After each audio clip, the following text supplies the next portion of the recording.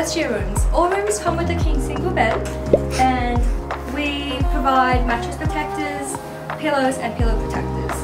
We've also got really big pinboard for you to customise your room however you like for, you know, just to make it your own.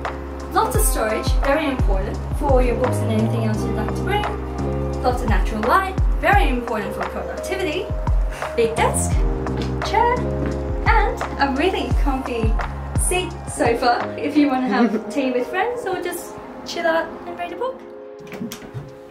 Hi, this is your Sinky room. As you can see, you share it with another first year student. It comes with more storage, a vanity, a sink and a fridge. This is a great place to boil up your kettle and make some coffee, some tea or some noodles late at night. Hi!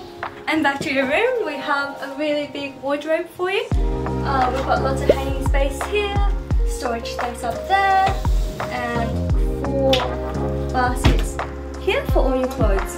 Now, I'm wearing an academic gown. You wear this every Monday at high table and also on some occasional formal dinners, so be sure to bring a couple of suits or formal outfits to wear. Hi, this is your bathroom. There are roughly six students per bathroom. There are two bathrooms per floor. We've got some showers, some toilets in here, and you've got a sink and a mirror. This is the laundry. As you can see, there are plenty of washing machines and dryers, but you will need to bring your own washing powder, laundry basket, and clothes horse. We hope this video has been helpful for you guys. From everyone here at Hilda's, we're super excited to see you. We think you'll love it here.